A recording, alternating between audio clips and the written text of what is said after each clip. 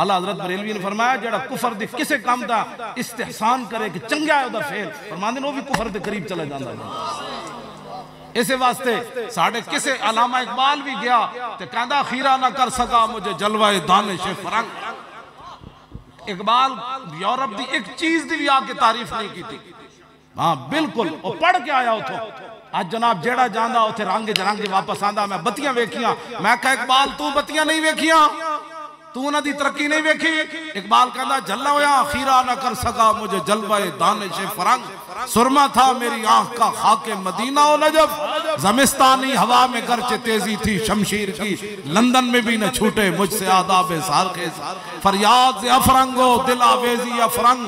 فریاد سے شیرینیو پرویزی افرنگ۔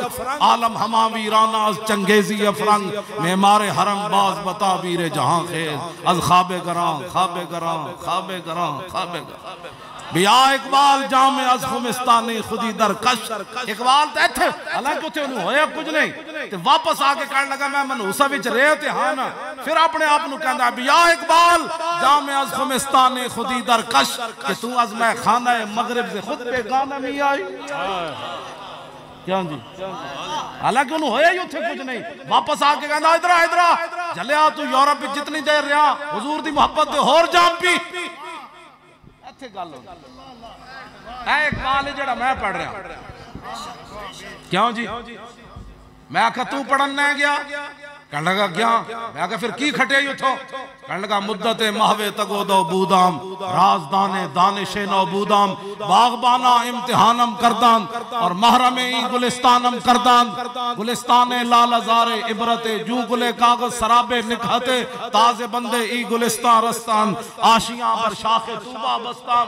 اقبال کہنے لگا کہنے لگا، جناب میں اتھے پڑھیا، میں بھی بڑا سر کھپایا، میں کہا پھر کہنے لگا اتھے دے پروفیسرہ میرے کو امتحان لیا۔ میں کہا پھر کہنے انہوں نے میں نے سند جاری کی تھی میں کہا پھر کہنے لگا میں پورا یورپ پھریا میں نے ایک بھی بندے دا پتر اتھے کوئی نہیں ملتا۔ تازے بندے، ای گلستان رستام آشیاں بر شاخ توبہ بستام کہنے لگا میں انہوں دیا ساریاں سندہ لپیٹ کے تو انہوں دے منہ تے ماریاں۔ میں کہا پھر کہنے لگا مدینہ پاک جڑا راہ جاندہ سی نا چھوٹے جائے درختوں تے آشیانہ بڑھا کے میں بھی مزید ویڈیوز اور اپڈیٹس کے لیے یوٹیوب پر Allama Khadim Hussain Rizvi official channel subscribe کریں اور بیل آئیکن پر بھی کلک کریں۔